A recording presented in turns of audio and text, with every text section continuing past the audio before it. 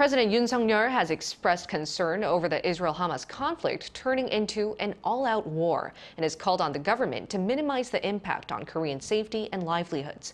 Speaking at a cabinet meeting on Tuesday, the South Korean leader said the possibility of the situation escalating into an international conflict cannot be ruled out as Iran and the Hezbollah back the Hamas group while Western countries support Israel. Noting that previous conflicts in the Middle East led to a rise in global oil prices, Yoon warned this could lead to further economic instability, with inflation pushing up domestic interest rates. He called for measures to stabilize the cost of living and financial security and to ensure access to energy during the winter months. He also asked the foreign ministry lead efforts to ensure the safety of Korean residents and travelers as the conflict stretches on.